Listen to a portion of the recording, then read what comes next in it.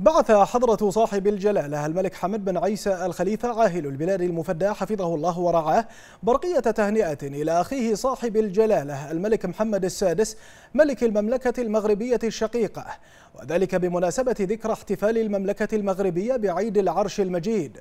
أعرب جلالته أيده الله فيها عن أطيب تهانيه وتمنياته له بموفور الصحة والسعادة ولشعب المملكة المغربية الشقيق بالمزيد من التقدم والازدهار في ظل قيادة جلالته الحكيمة.